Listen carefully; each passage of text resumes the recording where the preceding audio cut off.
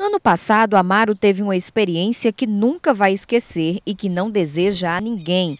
Teve o carro levado por bandidos, num dia de domingo, quando estava indo fazer um serviço de eletricista. Até hoje, o veículo do ano de 2015, que ele ainda estava terminando de pagar, nunca apareceu. Graças a Deus que é, é, ainda pelo menos deixaram com vida, né?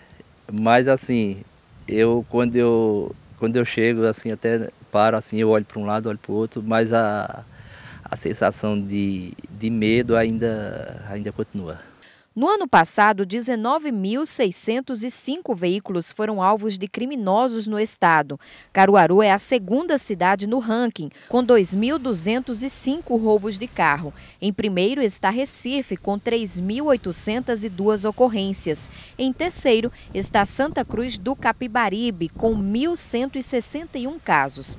Apesar do alto número de roubos no ano passado, de acordo com a Secretaria de Defesa Social, agora em 2019, 2018, houve uma redução de janeiro a julho, comparando com o mesmo período de 2017. Em Pernambuco, o número caiu de 12.137 para 9.742. E na região agreste, a diminuição foi de 52%. Em Caruaru também houve redução no período de janeiro a agosto. Foram 2.032 roubos em 2017 e agora em 2018, 1.778.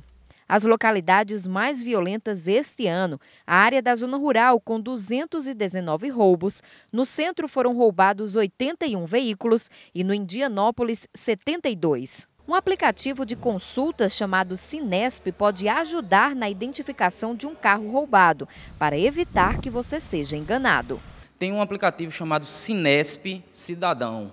Qualquer pessoa pode ter acesso a, em qualquer smartphone e esse aplicativo ele é administrado pela Secretaria Nacional de Segurança Pública, que hoje faz parte do Ministério da, da Segurança Pública, e ele interliga é, todas as bases de roubos e furtos de veículos do país.